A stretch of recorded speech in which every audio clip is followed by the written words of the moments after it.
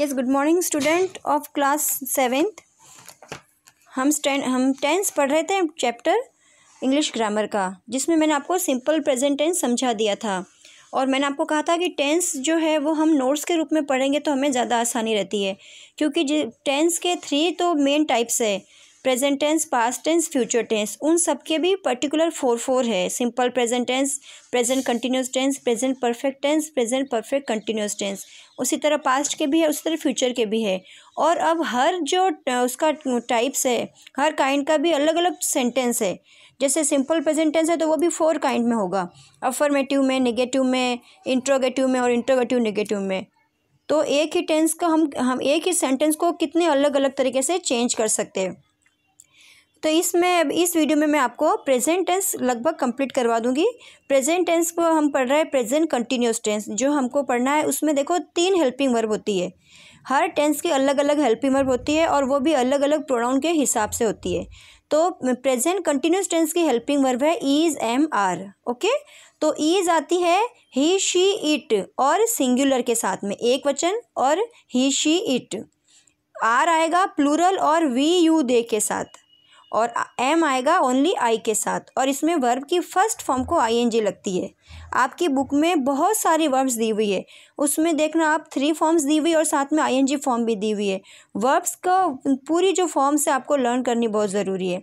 जैसे कि टीच की फॉर्म फॉर्म टीच टीच ये फ़र्स्ट फॉर्म है तो टीच को हमने आई एन जी लगाया तो बन गया टीचिंग गो फ़र्स्ट फॉर्म है, उसको आई एन जी लगाया तो गोइंग अपियर फ़र्स्ट फॉर्म है, उसको लगाया आई एन जी तो अपियरिंग ओके okay? तो सब्जेक्ट आएगा सबसे पहले, उसके बाद में ईज एम आर और फिर वर्ब की फ़र्स्ट फॉर्म को आई एन जी ये किसमें होगा? पॉजिटिव सेंटेंस मतलब वही जो हम अफर्मेटिव असर्टिव ये जो हम कहते हैं ना, ये सारे एक ही चीज़ है पॉजिटिव मतलब जिसमें नॉट नहीं है।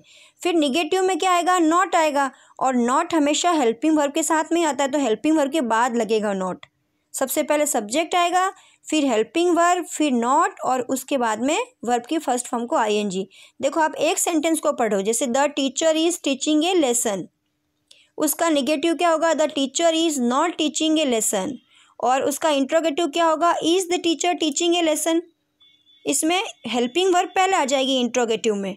फिर सब्जेक्ट फिर वर्ब की फ़र्स्ट फॉर्म को आईएनजी एक ही सेंटेंस को ध्यान से देखो, आपको फ़र्क समझ में आ जाएगा. I am going to Agra I am not going to Agra फिर am I going to Agra और इसका अगर इंट्रोगेटिव निगेटिव होता तो क्या करते हैं हम? Am I not going to ये देखो इंट्रोगेटिव निगेटिव यहाँ पे दिया हुआ है। Am I not going to Agra और ओनली इंट्रोगेटिव है तो am I going to Agra जैसे फ़र्स्ट में दिया हुआ is the teacher teaching a lesson इसमें नॉट नहीं आया हुआ है। तो ये ओनली इंट्रोगेटिव है। और इसको इंट्रोगेटिव निगेटिव करेंगे तो क्या होगा? Is the teacher not teaching a lesson ठीक है नॉट लगाना है सब्जेक्ट के बाद में। जैसे जैसे कि एम हेल्पिंग वर्ब हो गई आई सब्जेक्ट हो गया, उसके बाद नॉट लगाया। नॉट कहाँ लगाना ये भी ध्यान रखना पड़ेगा आपको। तो ये हो गया आपका प्रेजेंट कंटिन्यूस टेंस उसके बाद में है present perfect tense present perfect tense के दो हेल्पिंग वर्ब होते हैं हैव और हैज़ कौन से हेल्पिंग वर्ब दो? हैव और हैज़ हैव आएगा प्लूरल के साथ में, आई, वी, यू, दे। और सारे जो प्लूरल है, उन सबके साथ में आएगा हैव। ही, शी ईट और सारे सिंगुलर के साथ में आएगा हैज़। ठीक है? तो वर्ब की उसमें आएगी थर्ड फॉर्म। कौन सी फॉर्म आएगी? प्रेजेंट परफेक्ट टेंस में थर्ड फॉर्म। और अब हम पढ़ेंगे प्रेजेंट परफेक्ट कंटिन्यूस टेंस देखो, ये प्रेजेंट परफेक्ट टेंस आ गया यहाँ पर। प्रिया हैज़ स्टोलन इसमें सब्जेक्ट प्रिया है। हैज़ आएगा क्योंकि ये सिंगुलर है, किसी का नाम होता है, कोई पर्सन वो सिंगुलर में आएगा, फिर हैज़ आएगा और वर्ब की थर्ड फॉर्म टेक की third form taken Priya has not taken her breakfast इसमें भी हैज़ के बाद में नॉट लग गया हेल्पिंग वर्ब के बाद नॉट और इसका इंटरगेटिव बनेगा तो has Priya taken her breakfast समझ में आ रहा है फ़र्क आपको? और अगर इसका बनाना इंट्रोगेटिव निगेटिव तो क्या बनेगा? Has Priya not taken her breakfast आप ऐसे सेंटेंस ले लो कोई भी एक और उन सबको इसमें बना बना के देखो प्रैक्टिस करो आप। जो जो टेंस मैंने आपको पढ़ा दिए है, जैसे प्रेजेंट टेंस आपका लगभग पूरा हो गया अब इस वीडियो में और पिछला वाला वीडियो तो आप सेंटेंस लो और उसको इंट्रोगेटिव नेगेटिव अफर्मेटिव नेगेटिव इसमें बना बना के देखो आप, ताकि आपकी बहुत अच्छी प्रैक्टिस होगी टेंस की। उसके बाद आपको एक्सरसाइज पे जानना है। अब, आप देखिए प्रेजेंट परफेक्ट कंटिन्यूस टेंस क्या होता है? उसमें आएगा सीन्स और फॉर का यूज़ आता है, ठीक है? अब देखो, जब फिक्स टाइम दिया हुआ है तो वहाँ पर आता है सीन्स और बहुत टाइम फिक्स टाइम नहीं दिया हुआ है तो वहाँ पर आएगा फॉर ठीक है?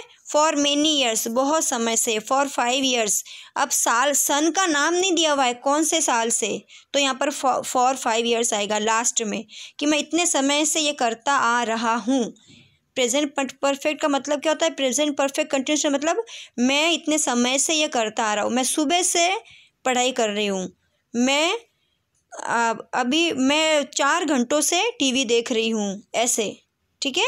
तो हैव और हैज़ के साथ में उसमें बीन लगेगा। क्या लगेगा? B double E N been एक नई चीज़ इसमें ऐड हो जाएगी। और जब नॉट लगाना है तो बीन और हैव या हैज़ के बीच में नॉट आएगा। जैसे आप ये नहीं कर पाओगे हैव बीन नॉट नहीं have not been has not been ऐसे। और इंट्रोगेटिव में हैव यू बीन और हैव यू नॉट बीन उसमें सब्जेक्ट के बाद नॉट लगेगा। इन कुछ रूल्स को आपको अच्छी तरह समझना पड़ेगा। आप अभी अपना ये जो पेजेस मैं आपको बता रही हूँ, उसको आप पढ़ोगे, सारी पूरी जो भी आपको दिया हुआ है टॉपिक वो सारे पढ़ो आप और सेंटेंस अपने मन से कोई भी सेंटेंस लेके उसकी प्रैक्टिस करो। तब आपको ये जो प्रेजेंट टेंस मैंने समझा ये पूरा समझ में आ जाएगा। प्रेजेंट टेंस के मैंने आपको simple present tense present continuous tense present perfect tense और प्रेजेंट परफेक्ट कंटिन्यूस टेंस ये चारों समझा दिए और उनके सबके अलग अलग चार टाइप्स भी बता दिए। तो आपको सिर्फ़ वापस पढ़ के उसको खूब अच्छी तरह प्रैक्टिस करनी है।